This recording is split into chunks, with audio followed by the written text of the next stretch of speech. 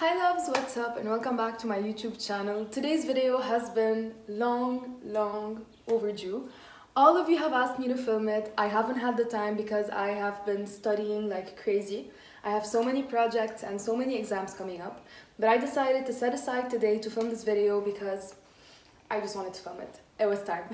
so I'm gonna be talking to you today about tips and tricks that I do, that I use, in order to stop myself from overeating in quarantine. As we all know, the entire world is in quarantine today. I hope. And so it's so hard for us to stop ourselves from opening the cupboard or the fridge and eating whatever the hell we want because we aren't going out, we aren't going to the beach. Who cares about a summer body? Honestly it's okay if you want to eat if you want to relax it's all good but for, but to those of you who actually want to get their stuff get their shit together stop overeating feel better about themselves eat clean then watch the video till the end. I hope it will help. All right so i'm gonna go i'm gonna go about this from morning till night. Every meal i eat all the snacks i eat and all the things that i do to stop myself from overeating Alright, so the first trick I'm going to talk to you about is probably something that everyone does and it's so intuitive, which is that fix things that you do every single day. Mine is I drink coffee every morning. And so the first thing that I changed was I stopped adding sugar to my coffee. I've been doing that for years and honestly now I love the taste of coffee without sugar and if my coffee has just a little bit of sugar in it, it bothers me. And so that's the first thing I do. The second thing I do, which I think is the most important thing, you can focus on the second tip and forget about all the other tips in my opinion, which is that you shouldn't eat your breakfast with your coffee.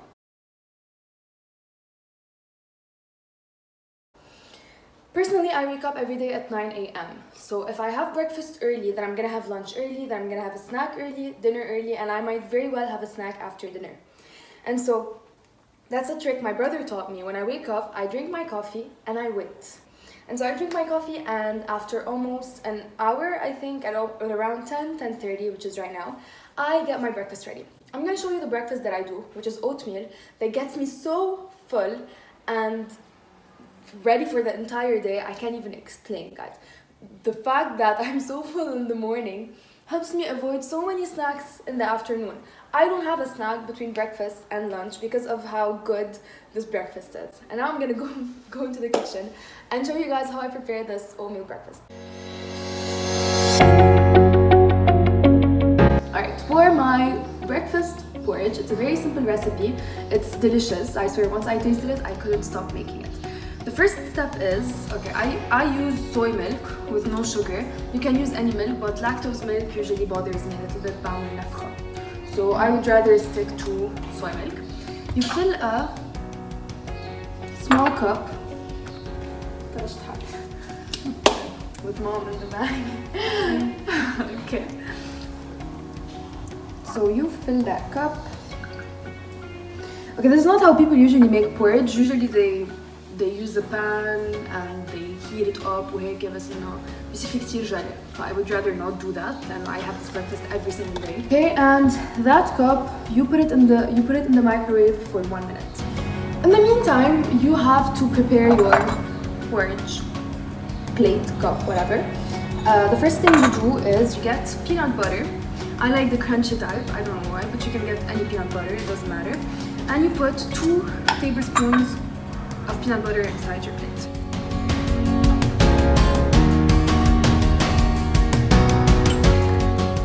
Alright, and then you wait for the milk to get ready, okay? Get your milk out of the microwave and pour it over the peanut butter. Yeah. Okay. After pouring it in, okay, you can't see, whatever, uh, get oats. This is the most important part, the oats. Okay, try to fill it the same level as the milk or else there will be too much. And mix.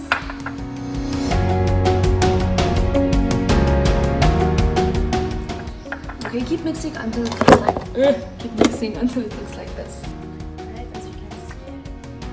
Alright. As for the last part, you can you can add nuts to your porridge, you can add fruits. I always add bananas. I do not nuts because my peanut butter is crunchy, so it's like there is nuts inside but I always add bananas. one banana.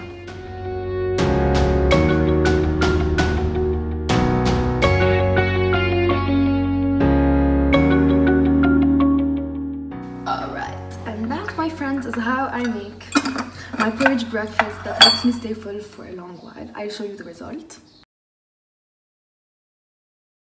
Alright, so you don't have to have this exact same breakfast. Obviously, I don't have the same breakfast every day, but most days, just a really uh, large breakfast would do, full of vitamins, fibers, calcium. I don't know, I'm not dietitian, so don't come after me. Alright, the second thing I do, is I only eat one serving at lunch.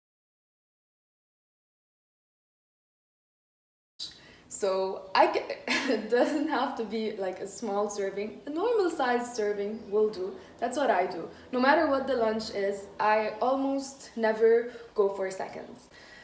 And while you're at that, don't overfill your plate at lunch. That just beats the purpose. It's like you ate two servings. Fourth tip, don't stop yourself from eating a snack. If you stop yourself from eating a snack and you starve yourself, dinner time will come and you're gonna eat a really large dinner, which is just not good. We don't want that. So try to stick to a healthy snack, or maybe not a healthy snack, just eat whatever snack you want in the afternoon. And just something that will make you happy. Because if you're not satisfied in the afternoon, you're gonna try to, satisf to satisfy yourself during dinner. And now the last one, dinner.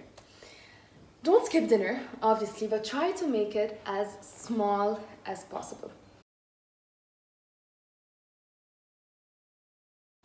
Try to have dinner as early as possible. If you can have dinner at 7 or 7.30 or maximum 8, that would be perfect because the the longer the period between dinner and breakfast, the better. To recap this video, I'm gonna tell you this again. I am not a certified dietitian.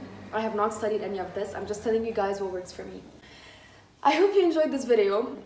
If you have any suggestions for future videos, let me know. If I have the time, I'm, I'll make the time for this and I will film this video for you guys. And don't forget to subscribe, like, and leave a comment. I love you guys so much. See you in the next one.